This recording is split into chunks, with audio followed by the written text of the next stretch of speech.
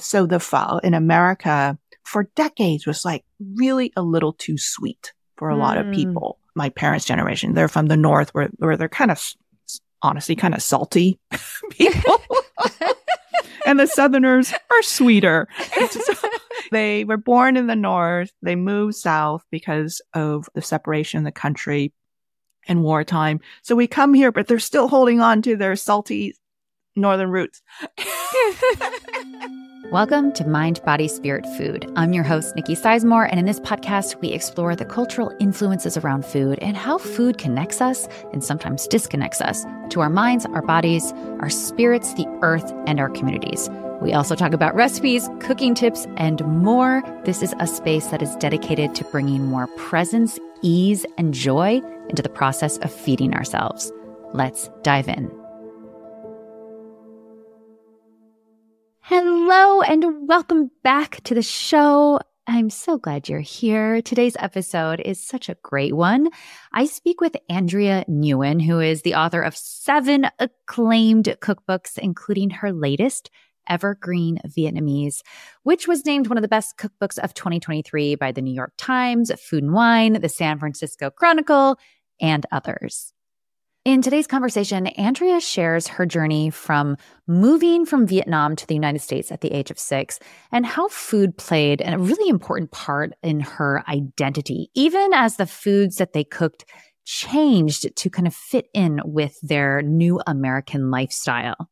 We talk about the evolution of food and how cuisines evolve and how the point should never be perfectionism. Andrea also shares her journey writing her latest book, Evergreen Vietnamese, which started with a health scare and ended by bringing her closer to her cultural roots. We talk about what it means to live a healthy lifestyle and how this is really unique for each person. And it doesn't have to involve restriction or regimen, but can be playful, a way of getting to know our own selves. Andrea says that eating a way that feels good for our bodies is a practice, much like, you know, playing a sport or doing yoga. It takes practice, but the more we do it, the easier it becomes. And I found the more we do it, the more joyful it becomes as well. Finally, Andrea and I also discuss the problems with labels when it comes to defining diets or ways of eating. Labels not only constrict us, but they pit one thing versus another thing. You know, this is good and this is bad, when really it's just what works for each individual. We even talk about the term Mediterranean diet and the problems with that label. There's so many nuggets of wisdom in this conversation. And Andrea also shares some really delicious ways of using different ingredients. Her joy is infectious. It was such a pleasure to speak with her. And I think you guys are going to feel that as well. As always, an easy way you can support this ad free work is by rating the podcast on your podcast app, leave a comment, share it with your friends and family. You can also become a subscriber to the Mind, Body, Spirit Food newsletter, where I share weekly recipes and dive into some of these topics in a deeper way. And if you become a paid subscriber for just a couple of dollars a month, you make all of this possible. This work could not happen without the support of paid subscribers. And I'm so grateful for all of you. All right, my friends, let's dive in.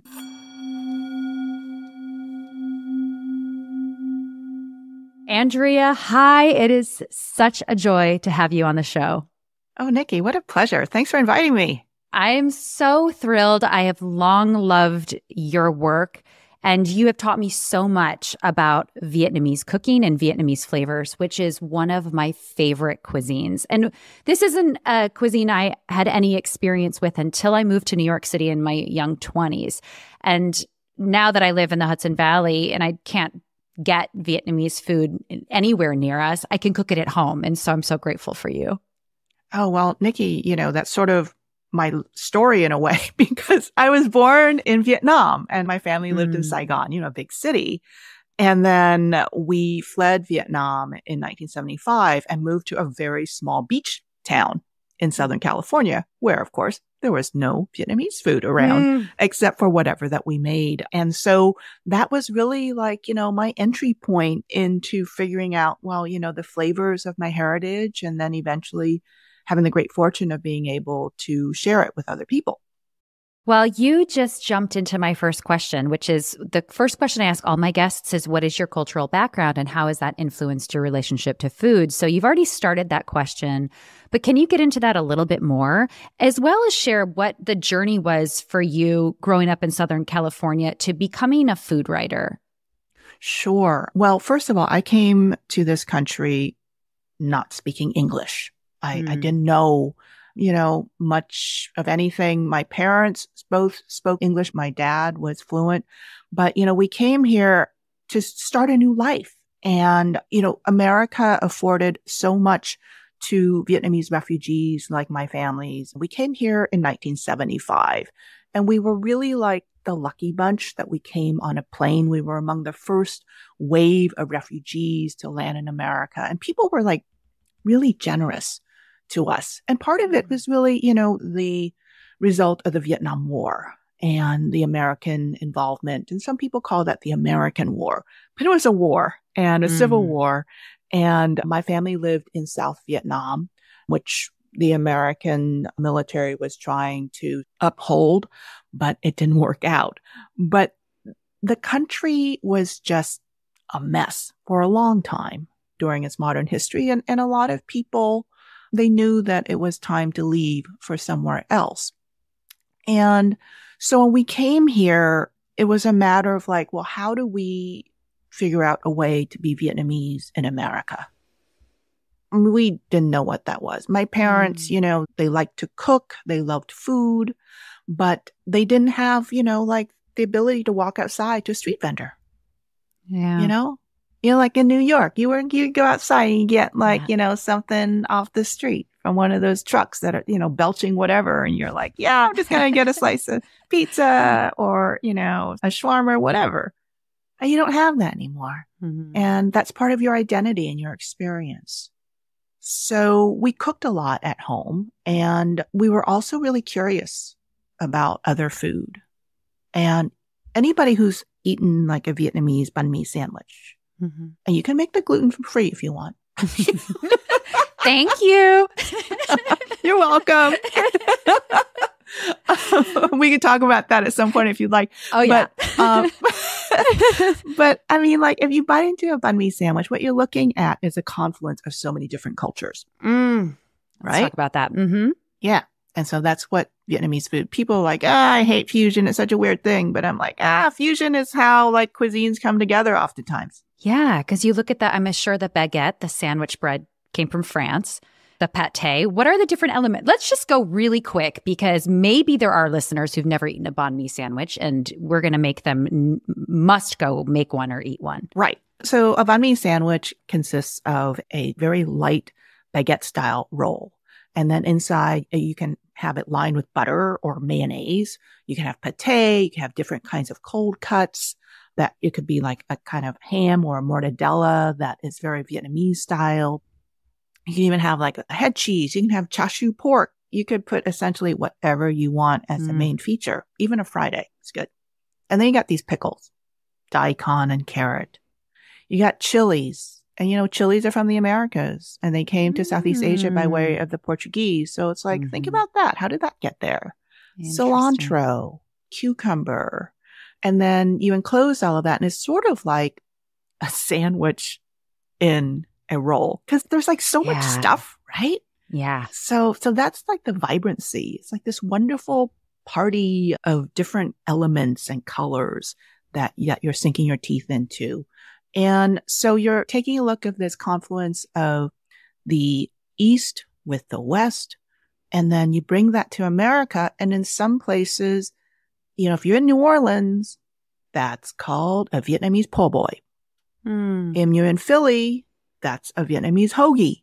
Mm-hmm. You know, not necessarily a banh mi, but I'm looking at I'm like, that's a banh mi. But you know what? But it's like change because as people go to different places, yeah the cuisine remains intact, but it also changes and evolves. Well, this is so interesting because it really is demonstrative in a way of your own identity coming to America. Sometimes we want to have these things be so static. And the reality is that change is the only constant. So, as a young American girl, still incorporating elements of your Vietnamese cultural upbringing. How did that merge together and change for you and your family?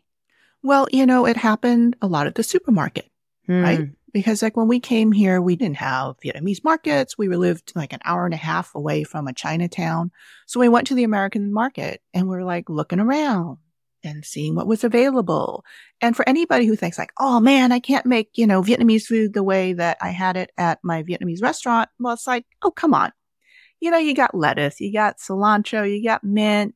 You know, nowadays you can get fish sauce, you can get rice, soy sauce. You're good. And then there are certain Mm. things like sugar. I mean, I know that Yeah. sounds so boring, right? But in Vietnam, like we had this really finicky sugar that we would use to make something called a caramel sauce, which is not for ice cream, but rather for braising. It's kind of like a bittersweet sauce. That's just melted sugar that's nearly, nearly burnt. And we would cook that, simmer different kinds of proteins with it for these really homey, savory, slightly sweet dishes. And in Vietnam, the sugar was not well refined. But in America, my mom was like, Oh my gosh, this is refined sugar. I can use this so nicely. And so there are like certain Mm. advantages with coming here. And then like when we, let's circle back to the banh mi, like you go to a supermarket bakery aisle and there, you can make a banh mi from French style rolls. You can make it from a bolillo roll. If, you know, if you're gluten free, you can make it from sliced white bread if you'd like, or a little Mhm. gluten free roll. I mean, things have changed so much since my family got here in 1975. And so Vietnamese cuisine is a very inclusive one. But I guess, Nikki, my job is to provide you with the parameters and guardrails so that you still have the essence of Yeah. Vietnamese food to, you know, you're experiencing that and that you don't, you know, go way too off course. Whenever I talk about my own recipes, I describe them as just a framework. They're a framework, they're like the safe structure that a person at home can then go into and they can follow it to a T or they can use their own intuition within that structure and start to make it their own. And what I love about what you're saying about all of this is that perfectionism isn't the point. The perfectionism of making the most authentic banh mi sandwich at home isn't the point. And perhaps there is no such thing as a perfect quote unquote banh mi sandwich. So just to explore and to honor, you know, I think it's really important that we honor the roots of where these foods came from.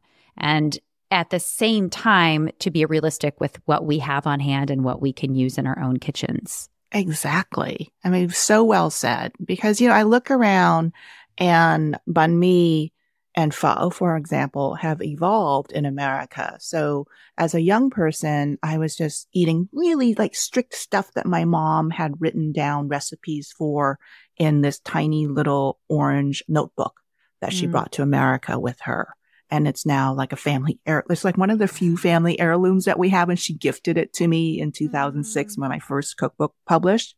And so like I keep it in a safe place in my house. Yeah. If any, if there's like a fire or something, it's one of the first things I'm going to grab. But I mean, like from that period onwards, like we really changed the way we made pho. For example, in Vietnam, you would cook pho by charring these really teeny tiny shallots that are the size of like boiling onions Wow. and little nubs of ginger. but when we came to America, oh my God, shallots are really expensive. And so people switched to using yellow onion, which is Mm. actually in Vietnam more expensive. But then the flavor of the pho changed. And Mm. so that because yellow onion is much sweeter than say a shallot. And then the flavor of pho, because it was like transported here and developed by Southern Vietnamese people who have a slightly sweeter flavor profile. So the pho in America for decades was like really a little too sweet for a lot of Mm. people. My parents' generation, they're from the North where, where they're kind of honestly kind of salty people. and the Southerners are sweeter.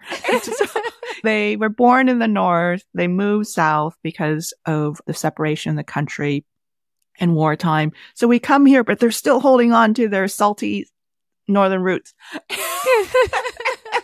and so the food here, it tended to be a lot sweeter than what a lot of people liked. And then, of course, you know, mm, we can talk about nutrition. Is that sugar is really super affordable here and mm. we love sugar, right? Everybody yeah. loves sugar, all mm-hmm. humans. Mm-hmm. And mm-hmm. so overall, the Vietnamese food in America became sweeter. And I think health wise, it has not been good mm. for a lot of people. Mm-hmm. In terms of, you know, they've developed like diabetes and then yeah. just eating more than they would in the motherland. And so diets have changed as well. And, you know, these shifts of like greater wealth oftentimes yeah. are not necessarily like the best thing, unintended yeah. consequences, right?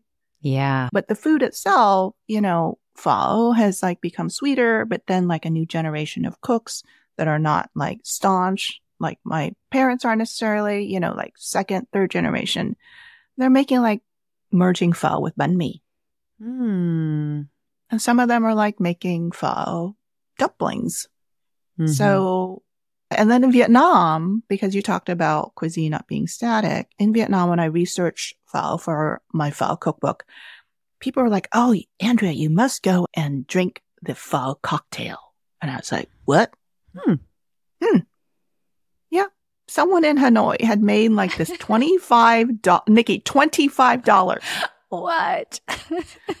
in like 20, 16, I paid $25 wow. for a cocktail in Vietnam that was a pho mm. cocktail in a and very swank historic hotel. I'm like, was it worth it? It was because they did this whole show of like lighting the spices on Ooh. fire and everything. So my food stylist and I went on a research trip and oh. we were like, whoa. It was a little sweet because they used like certain kinds of spirits that were on the sweet side, but it was a show, you know, a little bar floor show. That's okay. now, I want to get back into the food, but I want to circle back because it sounds like your mom was a cook and she was really influential to you. When did you decide that your career was going to be in food? When I couldn't get a job. I love that answer. I, I mean, you know, I don't any romantic responses, Nikki. but it was like this thing where, you know, if anybody knows food media, you know, you realize that it has long been grounded in New York. Mm-hmm. I had no idea. We came here and I really fell in love with reading cookbooks because we couldn't afford like for my parents to buy like, you know, they weren't giving me pocket money to go to the book fair, for example, because we were a family of seven and both mm. of my hmm. parents worked. And, you know, I, for the first few years of my life, I was one of those, you know, free lunch program kids. Mm-hmm. But I started bringing my own sandwiches to lunch because I was Love like, it. you know, I've like tasted that hamburger and that pizza and I've had enough. But yeah. I mean, that's a totally different story. but, you know, I, I went to the library and checked out cookbooks mm. and I hmm. started reading them and my family let me practice on them. Mm. So for me, I thought, wow, you know, cookbooks are really great tools for learning about different cultures. And then when I was a teenager, there were Vietnamese cookbooks that came out. And I was like looking at them like, there's olive oil in there. Why the heck is there olive oil? Mm. And I was like, we don't use olive oil when we cook Vietnamese food at home. And it was also not about the Vietnamese experience in America. It was all removed and talking about Vietnamese people in Vietnam going back. And there was a certain romanticism about it. And it wasn't really home cooking as I experienced it. Mm. And I was like, it just sounds so exotic. And it was written by older people. Mm-hmm. And so I was like, I want to write a Vietnamese cookbook, you know, about Vietnamese people in America, about people like me. There must be a lot of people like me because yeah. I see them in little Saigon. And so I wanted to write cookbooks, but I just didn't know how. And there were agents interested, but they're like, you're not on Food Network, can't get you a deal. Yeah. Mm-hmm. Or some agents just didn't respond. And so my husband and I eventually in 1998 moved to Northern California to the Monterey Bay, a little town called Santa Cruz, which is also another beach town. And I couldn't for the life of me get work. Hmm.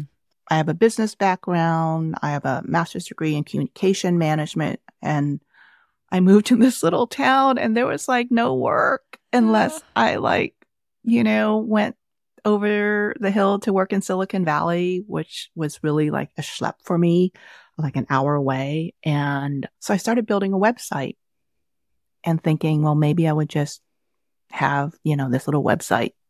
And that was like in 2002 or something like that. So, you know, the dinosaur age for all of this stuff and blogging, right? and I just couldn't get work. But I eventually got lucky because I got like this temporary gig at the local university in Santa Cruz and met someone who introduced me to someone. And eventually that someone introduced me to the owner of 10 Speed Press. Mm. And 10 hmm. Speed Press is one of the foremost cookbook publishers in the United States. And I had so many cookbooks in my collection at that point because I was buying them from used bookstores. And, you know, that was like really before Amazon really took off. So I was like buying a lot of stuff from used bookstores yeah. and regular bookshops, you know? And I was like, oh, 10 Speed Press, mm, I know them. And they also had a certain expertise and awareness about Asian food. Mm.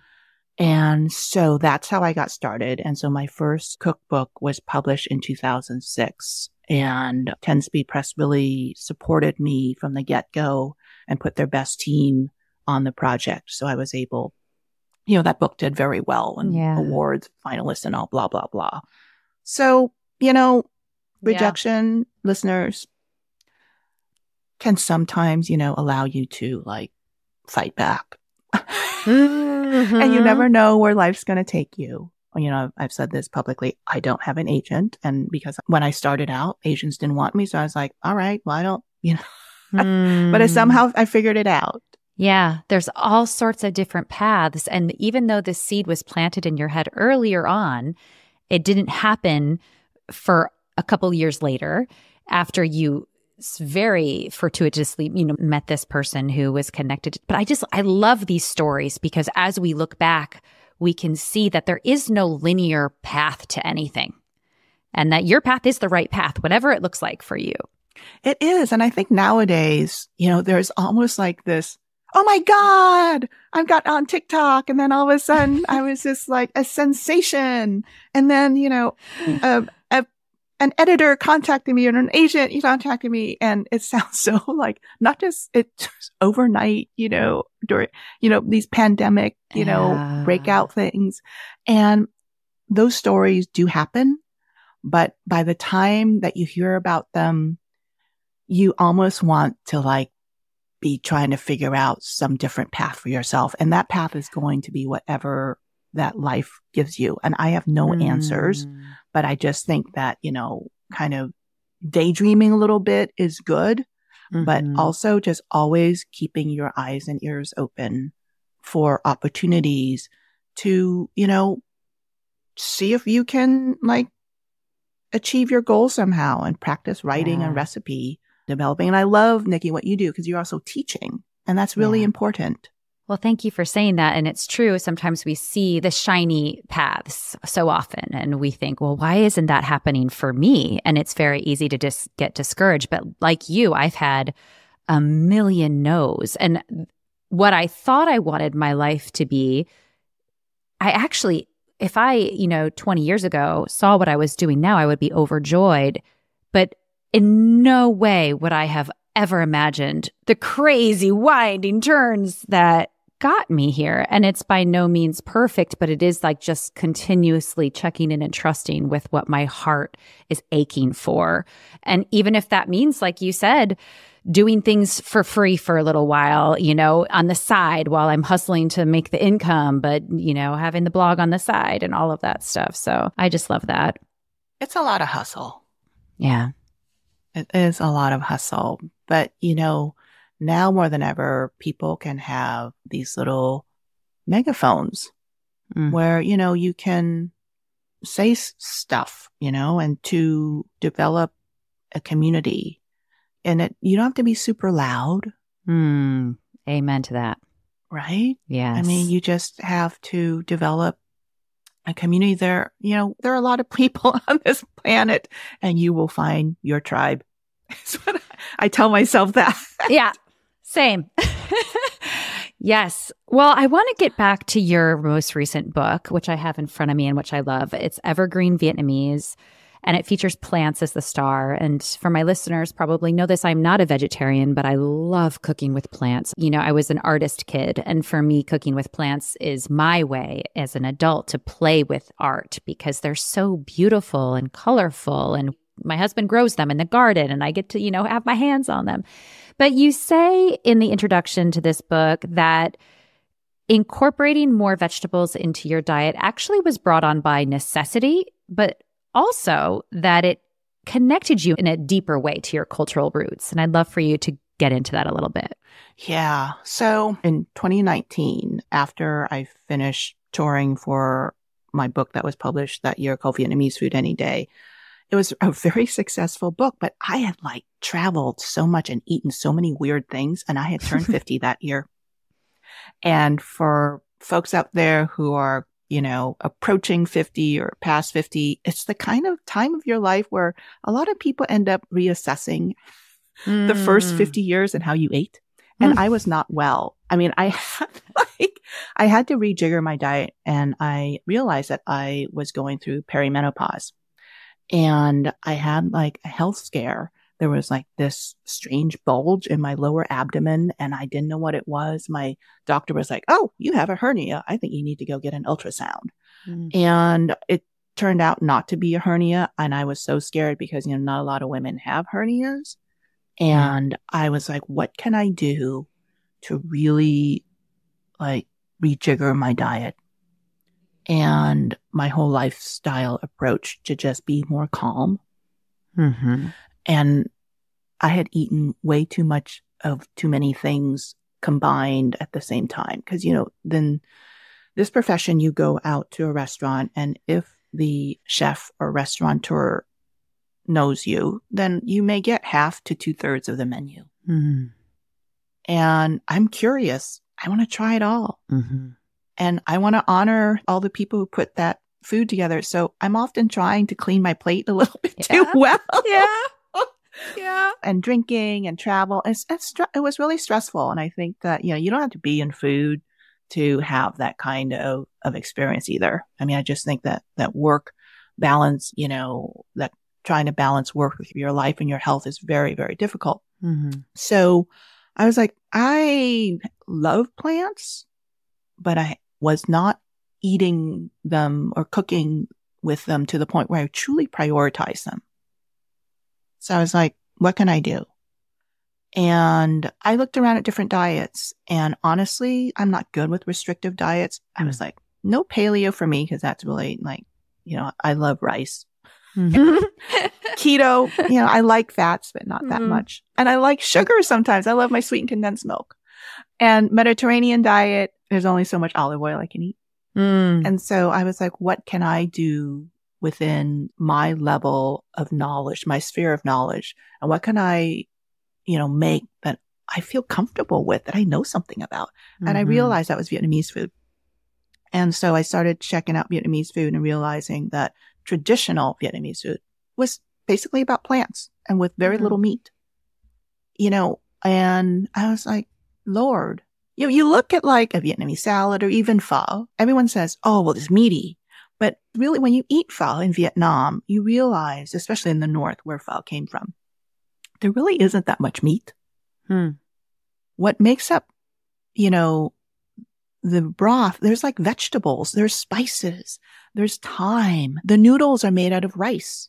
Hmm. When we talk about banh mi, you know, like the protein element is like, whoo, the star, but you could put tofu in there. You yeah. could make a mushroom pate. You can even make like vegetarian Vietnamese bologna, which I did. And even make a vegan mayonnaise if you want, or put avocado in that sandwich. But all those other elements, all the vegetables and the roll, it's all made out of plants. Mm-hmm.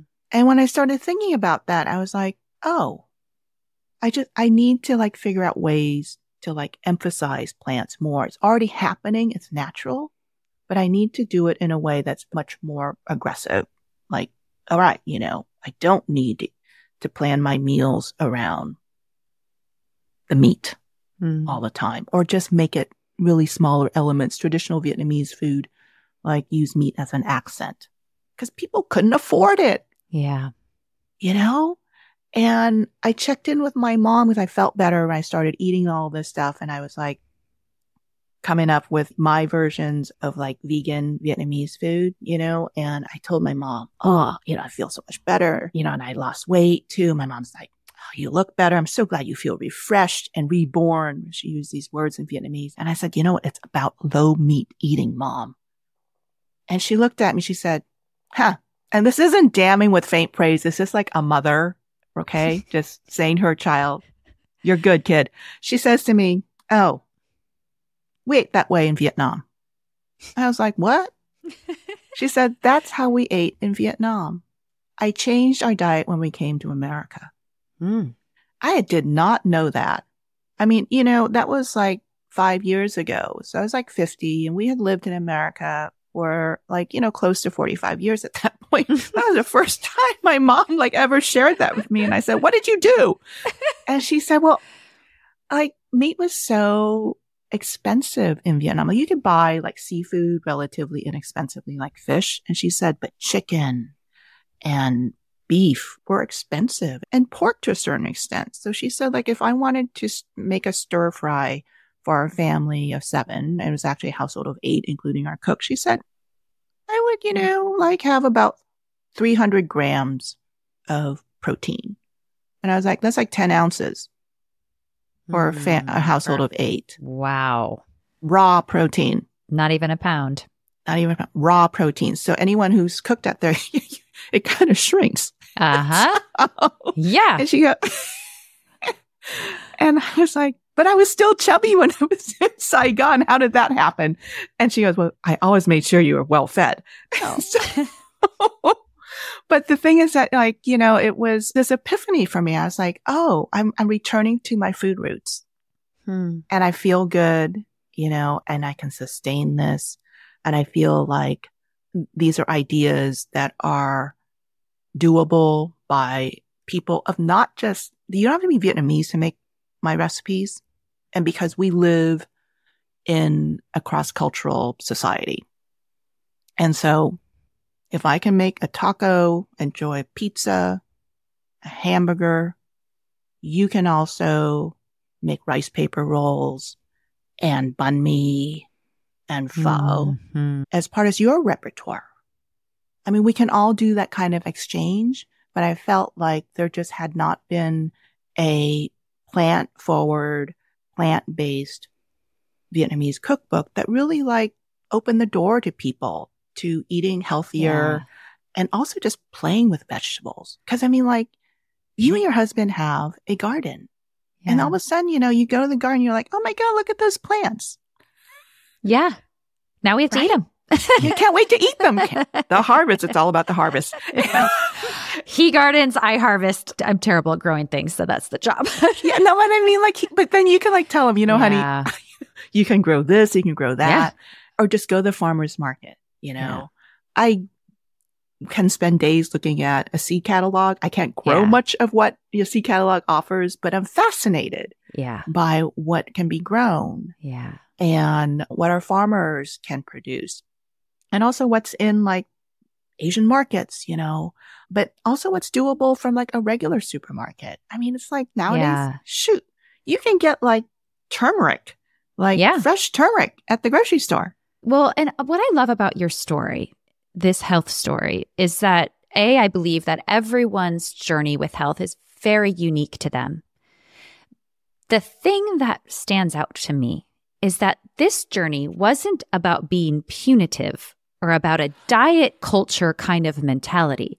This was a shift that also brought you joy that opened the door to more flavor. When I had to cut gluten out of my diet after my first daughter was born, and I thought I was it was awful. I was like, no, I'm a chef. And this is not possible. And it ended up being so fun because for somebody who loves to cook, all of a sudden there are all of these new flavors that I got to explore and play around with.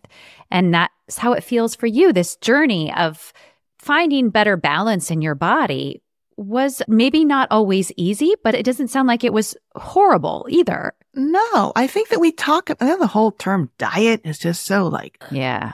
it Yeah. sounds gross. I mean, Yeah. who wants to diet? Nobody. Nobody wants to diet, but we all want to live, you know, healthier lives. I mean, that's Mhm. kind of like, who wants to live an unhealthy life? I'm sorry. You know, it's No. kind of like, no one says that. Yeah. But I mean, we want to figure out ways that we can live healthy. And when you start exploring, let's just talk about mushrooms. Okay. I mean, like, cause like Mhm. I use a lot of mushrooms and we always talk about mushrooms as being earthy. But the thing is like mushrooms have so much, they're not always earthy. They sometimes don't have flavor, but they have texture. And when you cook with them, sometimes they squeak. yeah. And so they're talking to you. And then, like when I was trying to make this five spice mushroom walnut pate, I was like buying these, mu- so many mushrooms because I was going round and round on that because I wanted to really make like a pate that could just stand up right next to like its livery friend, you know, like the livery original. And then like one day, like I had so many mushrooms, they kind of like went a little bit weird and got a little too mature and they opened up like big parasols. And I thought, Yeah. oh, good God, I can't use these mushrooms. But then I was like, you know, I can't go to the store yet right now because it was late at night. I made the pate with the mushrooms. And then I realized at that point, even though the mushrooms were kind of wizened and practically seemingly, you know, over the hill, they made better pate because Mm. they were more mature and they had Mhm. dehydrated just a little bit and they had a much more concentrated flavor. And so all of a sudden you're like, oh wow. You know, even like a common ingredient like a cremini or, you know, baby bell mushroom, like you don't always want the perfect little mushroom. You want them maybe to be the ones that are like opened up like a the big umbrella, sun umbrella. And like other mushrooms that we have access to, like oyster mushrooms that, you know, you now see at the market yeah. or maybe you can grow them yourself. They have like this very rich, fatty texture hmm and they don't have a ton of flavor, but they have that texture and you can like put them into salads, you know, an oyster mushroom. And I never realized this when I, not an oyster, a king oyster mushroom. They're like really like dense things. And in Vietnamese, cause I, they're called chicken drumstick mushroom. Wow. and I was like, what the heck? And then once I started playing with them, I was like, oh, they really do have the texture of like a chicken Mm. drumstick. wow. And so like I started thinking about, all right, so how do I play with them so that it's kind of, it's a really interesting way to mimic the texture of chicken thighs or chicken legs. And so, you know, it's like all of a sudden, like just within the sphere of mushrooms, I was like, that's cool. Maitake, maitake, awesome. It's like, Yeah. has a little crunch, like, oh, uh, tendon. maitake. I mean, you know, and if you're a vegetarian, you're going to think, oh, Andrea, that's so gross. You're like making these equivalencies with like animals.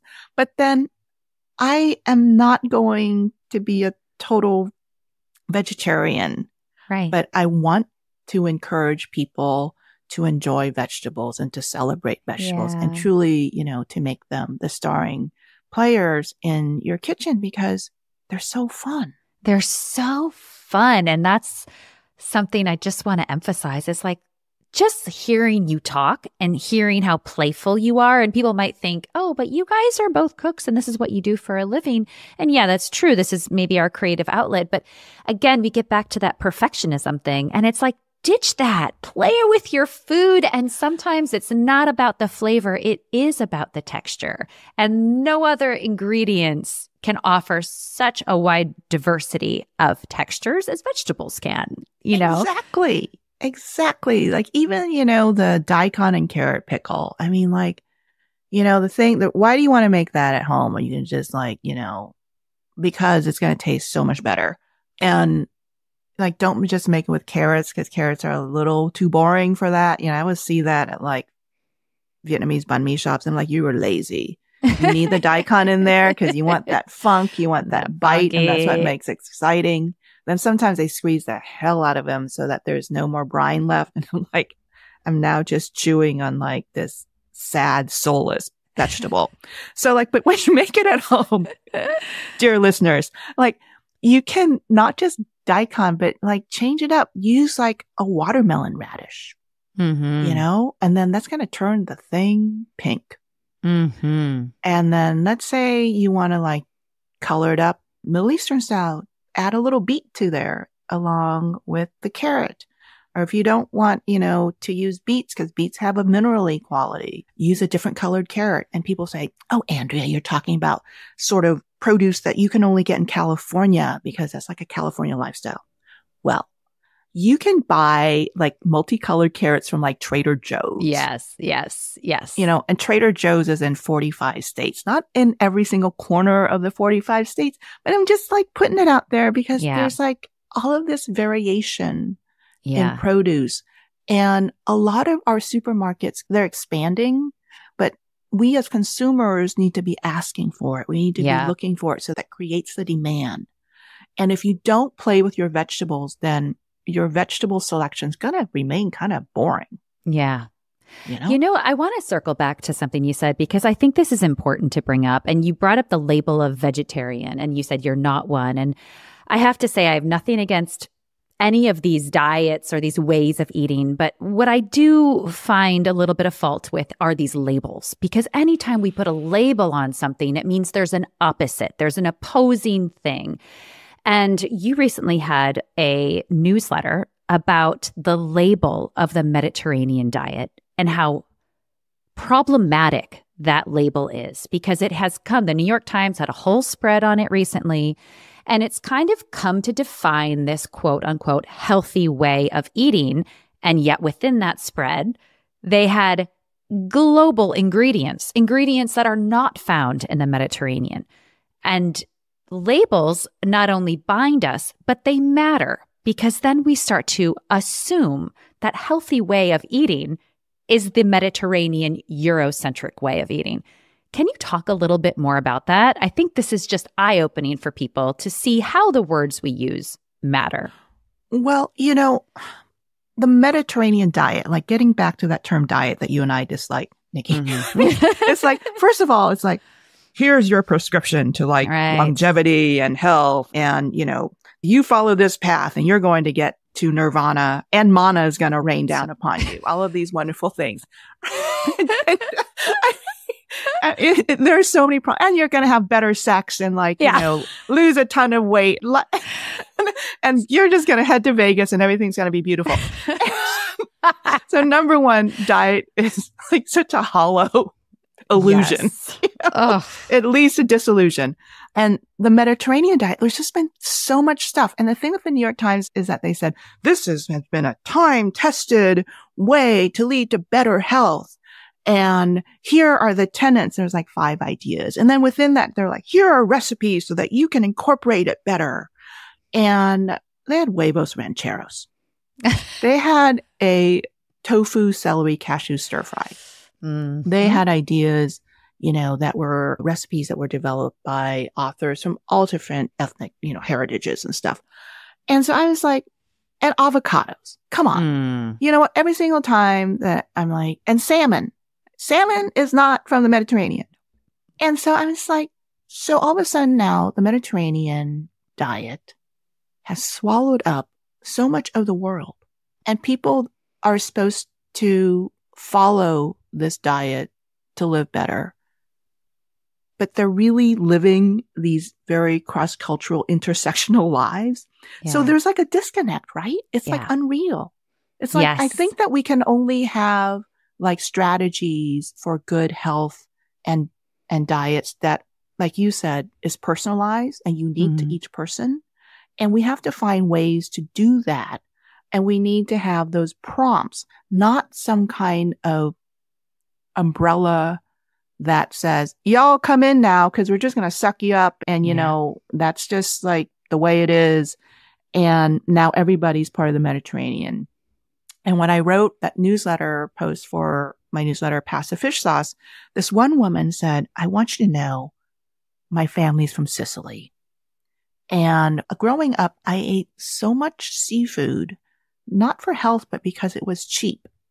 Mm. And my mother grew up like just, you know, they got the fish because it was free from the Mediterranean. It's right there. They ate things from their garden because it was also affordable because it was free. I mean, she was like, this was Mhm. out of necessity and that's what they ate. And then someone else pointed out on Instagram, they're like, no one talks about the high rate of obesity in Spain. Hmm. And there's all of this stuff that the, the glosses over. And I think that the Mediterranean diet was great in the 1960s when people were still trying to like, they needed to see some new vistas. Good way of putting it. Yes, Yeah. I can see that. Yeah. But nowadays, I think that in 2024, we need more global vistas, especially as we are trying to figure out how to deal with ultra processed foods. Yeah. which is really like, you know, they taste good, they're addictive, but they could be really, really bad for your health if, Yeah. because they're formulated so that you get addicted to them. Yeah. And, you know, wholesome cooking and identifying issues like you did, Nikki, with gluten. It's like, you know, you start kind of like figuring things out for yourself Yeah. and what's going to help you live a healthy, happier life. And that's the thing is like, I think that if you strategically figure things out for yourself, you're going to then go, Oh, this is fun because I'm like, Yeah. this is bespoke living. Yes.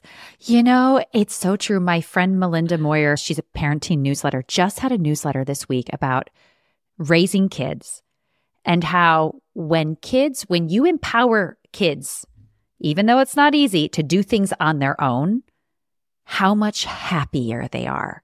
And it made me think as you're talking, I'm like, it's the same thing. When we figure these things out for ourselves, knowing that this is not going to be the panacea that's promised that's going to fly us to Vegas, but this is the journey that we took and we trust ourselves. We learn to trust ourselves. Then we can take that trust with us anywhere and in any restaurant or any place we, because we know what feels good in our own bodies.